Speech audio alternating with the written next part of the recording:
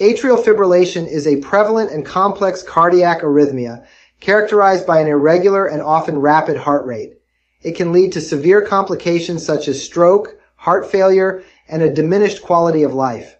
While traditional treatments like medication and standard AFib ablation techniques have been the cornerstone of AFib management, recent advancements have significantly enhanced the efficacy and safety of AFib treatment.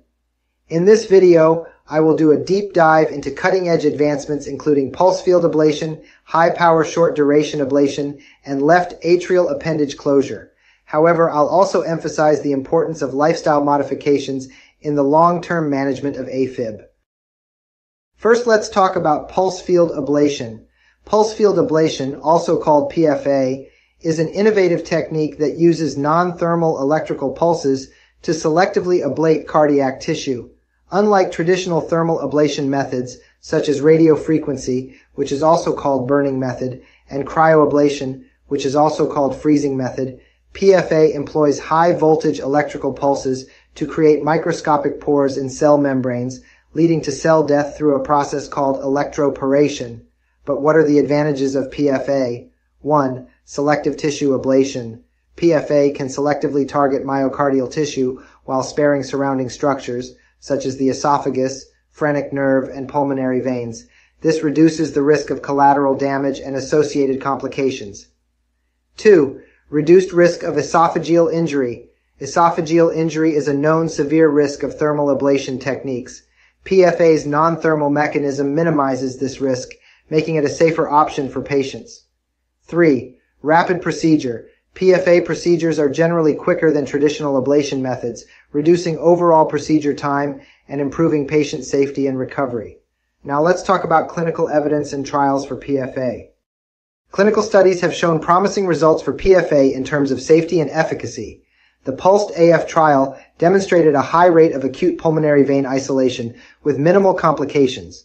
The trial included 75 patients and showed a 97% success rate in achieving pulmonary vein isolation.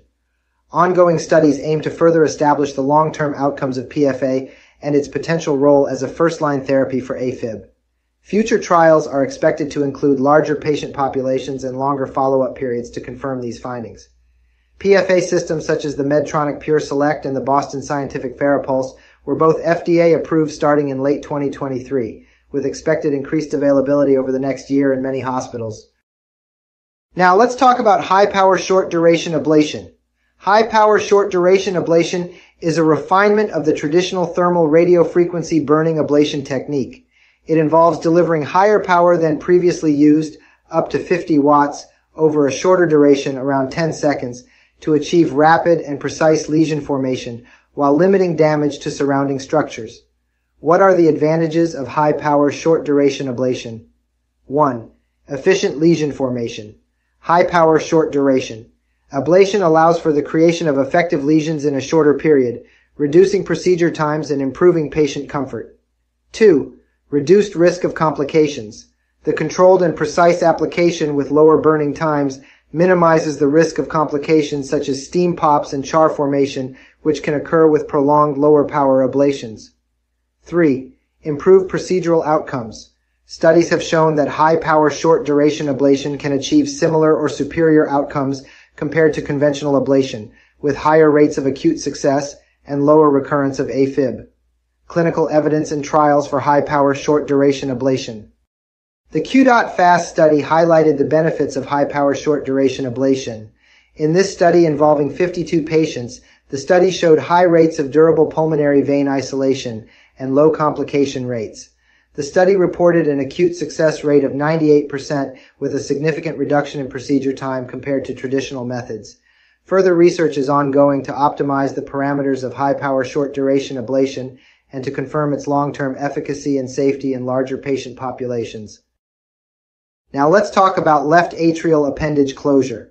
Left atrial appendage closure is a procedure designed to reduce the risk of stroke in patients with AFib the left atrial appendage is a small pouch-like structure in the left atrium where most blood clots can form in AFib, increasing the risk of stroke.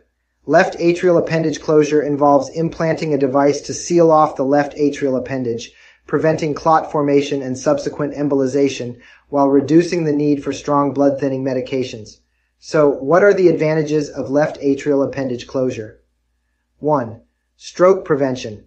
Left atrial appendage closure is particularly beneficial for patients who are unable to take long-term anticoagulation therapy due to bleeding risks or other contraindications. By sealing off the LAA, the risk of stroke is significantly reduced. 2. Reduced dependence on anticoagulants. Most patients who undergo left atrial appendage closure can discontinue their use of anticoagulants, which can have side effects and increased risk for bleeding. 3. Minimally invasive. Left atrial appendage closure is typically performed using a minimally invasive catheter-based approach with a rapid recovery time and associated lower risks compared to surgical options. Let's discuss clinical evidence and trials for left atrial appendage closure. The Watchman device is the most studied left atrial appendage closure device and has shown efficacy in reducing stroke risk. The PROTECT-AF and PREVAIL trials demonstrated that left atrial appendage closure with the Watchman device is an effective alternative to warfarin therapy.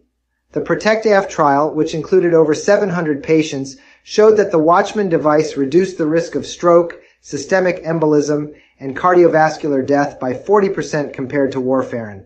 The PREVAIL trial, with over 400 participants, further confirmed these findings.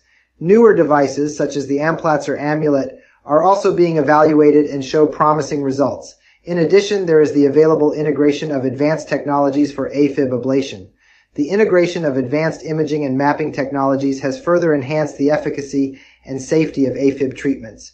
High resolution 3D electroanatomic mapping systems, intracardiac echocardiography, and MRI guided ablation are examples of technologies that allow for more precise targeting of arrhythmogenic tissue and better visualization of cardiac structures during procedures. These advancements contribute to improved procedural outcomes and reduce complication rates. Finally, let's talk about the importance of lifestyle modifications. Despite these technological advancements, lifestyle modifications remain essential for the long-term management of AFib. Diet and lifestyle changes can significantly improve heart health and reduce the frequency and severity of AFib episodes. Let's discuss the key lifestyle changes in the long-term management of atrial fibrillation. 1. Weight management. Maintaining a healthy weight is crucial. Studies have shown that weight loss can reduce the burden of AFib and improve outcomes after ablation procedures. 2. Healthy diet. A diet rich in fruits, vegetables, whole grains, and lean proteins can improve overall heart health and can also help manage AFib. 3. Regular exercise. Physical activity helps maintain a healthy weight and improves cardiovascular fitness. However, it's important to consult with a healthcare provider to design a safe exercise plan for you. 4. Stress management. Stress can trigger AFib episodes. Techniques such as yoga, meditation, and deep breathing exercises can help manage stress levels and reduce recurrence of atrial fibrillation after an ablation. 5. Alcohol cessation. Reducing or complete cessation of alcohol intake can significantly improve the long-term success rate of AFib treatment. 6. Treatment of sleep apnea. Untreated sleep apnea can significantly reduce the efficacy of long treatment for atrial fibrillation. Meanwhile, well-treated sleep apnea can improve the success rate of AFib treatment, including ablation. A personalized approach to AFib treatment is very important for the long-term success of treatment. The latest advancements in AFib treatment highlight the trend towards personalized medicine. The choice of therapy is increasingly tailored to the individual patient's clinical profile, risk factors, and preferences. Factors such as the duration and frequency of AFib episodes, the presence of structural heart disease, and comorbid conditions influence the selection of treatment modalities as well as the success rate of procedures for AFib. Conclusion.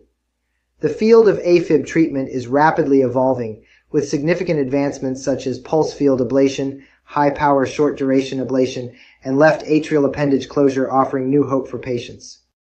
These innovations promise improved efficacy, safety, and patient outcomes. As research continues and technologies advance, the future of AFib management looks increasingly promising with the potential to transform the standard of care for millions of patients worldwide.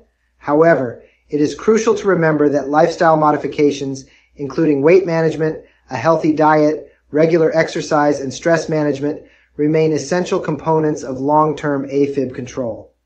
The ongoing focus on personalized medicine ensures that treatments are tailored to individual patient profiles, maximizing the benefits of these cutting-edge therapies.